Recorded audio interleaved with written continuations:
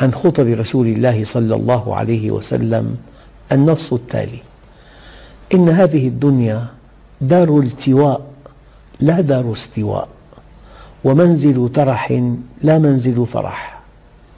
فمن عرفها لم يفرح لرخاء ولم يحزن لشقاء قد جعلها الله دار بلوى وجعل الآخرة دار عقبة فجعل بلاء الدنيا لعطاء الآخرة سببا وجعل بلاء وجعل عطاء الآخرة من بلوى الدنيا عوضا فيأخذ ليعطي ويبتلي ليجزي أيها الإخوة المركبة السيارة لماذا صنعت؟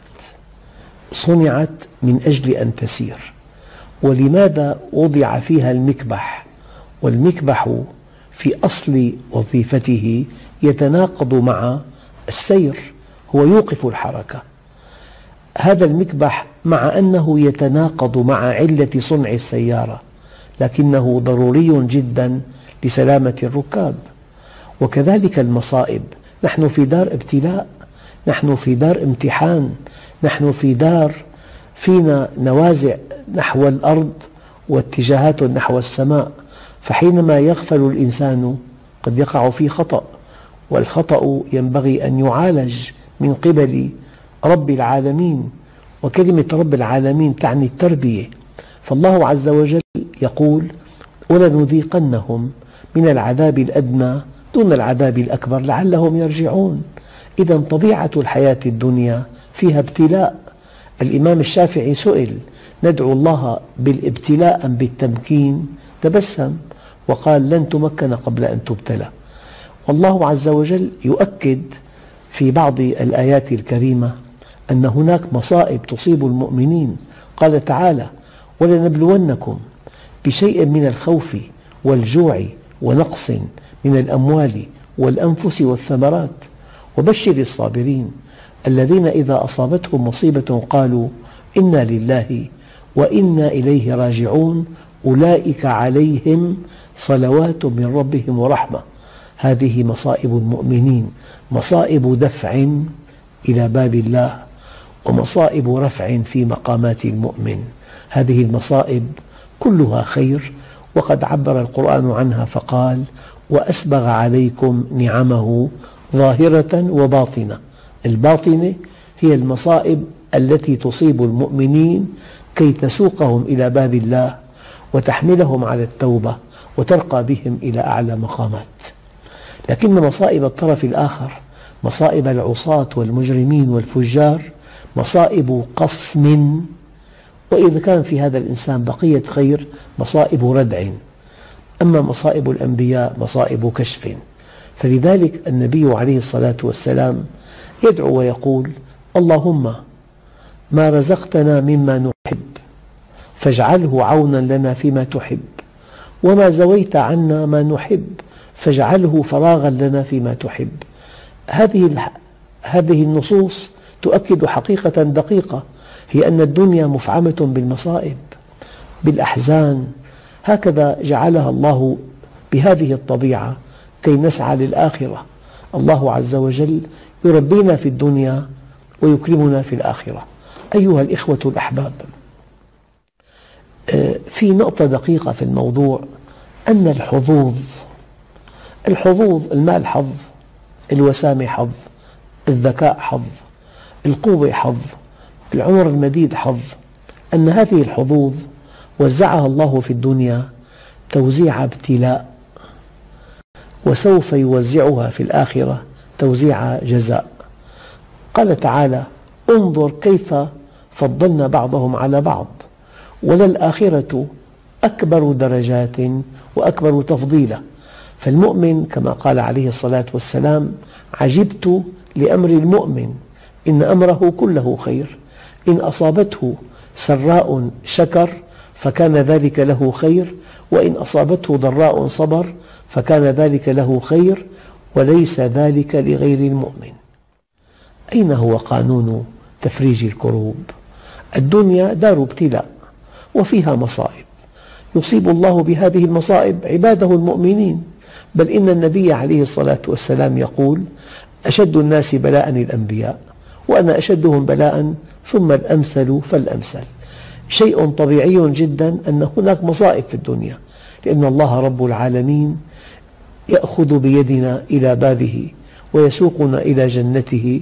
وقد قال عليه الصلاة والسلام عجب ربكم من قوم يساقون إلى الجنة بالسلاسل.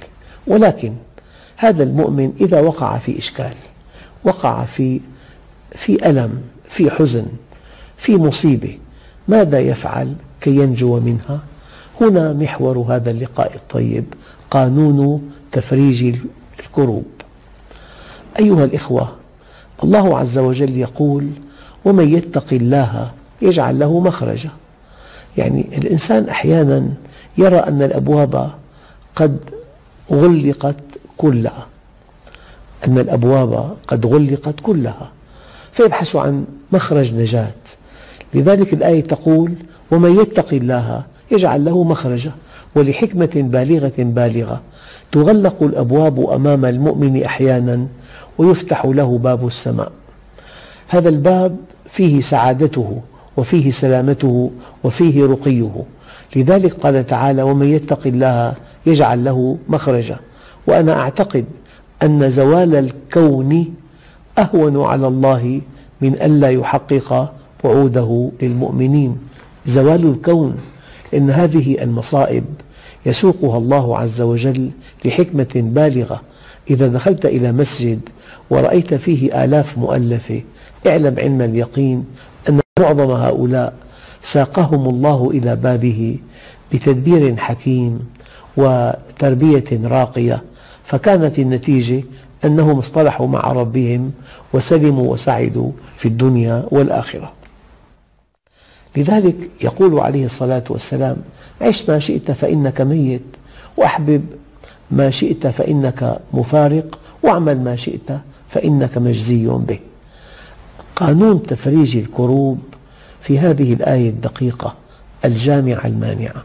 أيها الإخوة هذه الآية ومن يتق الله يجعل له مخرجا لها سياق. لو نزعتها من سياقها لأصبحت قانونا.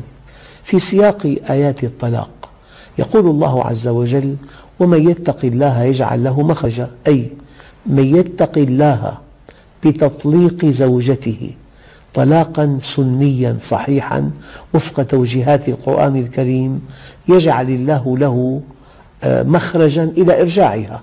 هذا المعنى السياقي ولكن عظمة هذا القرآن أن كل آية إذا نزعت من سياقها كانت قانونا. مثلا من يتق الله في كسب ماله يكسب المال الحلال يجعل الله له مخرجا من إتلاف المال. من يتق الله في اختيار زوجته اختارها ذات صلاح ودين فسعد بها. وكانت وفية له من يتق الله في اختيار زوجته وفق منهج الله عليكم بذات الدين يجعل الله له مخرجا من الشقاء الزوجي. من يتق الله في تربية أولاده تربية إسلامية صحيحة يجعل الله له مخرجا من عقوقهم.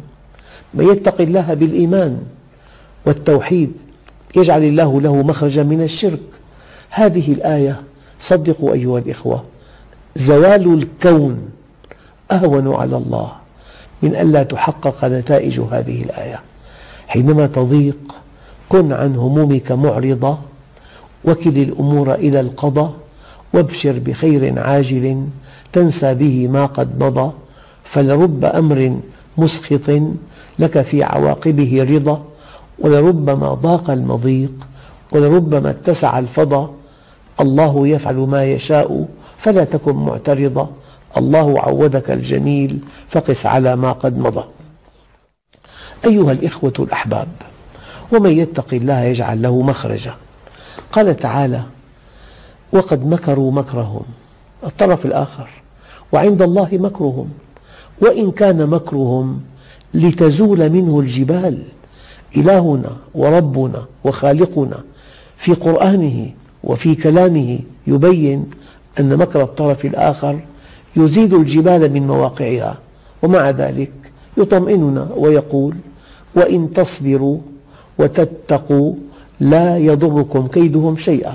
إذا ما ساق الله لنا مصيبة إلا لمصلحتنا إلا ليقربنا منه إلا ليجمع كلمتنا. والله عز وجل لا يسمح لطاغية على الإطلاق أن يكون طاغية إلا وأن يوظف طغيانه لخدمة دينه والمؤمنين بلا شعور وبلا إرادة وبلا أجر وبلا ثواب. إذا كل شيء وقع أراده الله وكل شيء أراده الله وقع وإرادة الله متعلقة بالحكمة المطلقة وحكمته المطلقة متعلقة بالخير المطلق.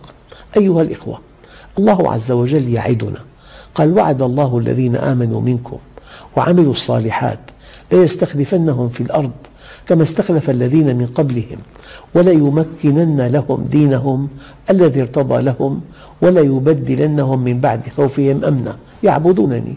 إذا نحن حينما نعبد الله عز وجل نستحق كل هذه الوعود التي يعد زوال الكون أهون على الله عز وجل من ألا من ألا تحقق. لذلك فلنستبشر ولنثق بربنا وبهذا الدين العظيم. ولا تهنوا ولا تحزنوا وأنتم الأعلون إن كنتم مؤمنين. أيها الإخوة الكرام الدنيا زائلة تغر وتضر وتمر والآخرة باقية فطوبى لمن ربح الآخرة وذاق بعض المتاعب في الدنيا. فقد ورد في بعض الآثار القدسية وعزتي وجلالي لا أقبض عبدي المؤمن وأنا أحب أن أرحمه. إلا ابتليته بكل سيئة كان عملها سقما في جسده أو إختارا في رزقه أو مصيبة في ماله أو ولده حتى أبلغ منه مثل الذر فإذا بقي عليه شيء شددت عليه سكرات الموت حتى يلقاني كيوم ولدته أمه. فلذلك الإنسان حينما يربح الآخرة ويربح جنة الله عز وجل يكون قد فاز فوزا عظيما ومن يطع الله ورسوله فقد فاز فوزا عظيما. أيها الإخوة الأحباب إلى لقاء آخر إن شاء الله تعالى. والسلام عليكم ورحمة الله وبركاته. لا تنسوا الإعجاب بالفيديو والاشتراك في القناة. تشجيعا لنا لنستمر بنشر المزيد إن شاء الله.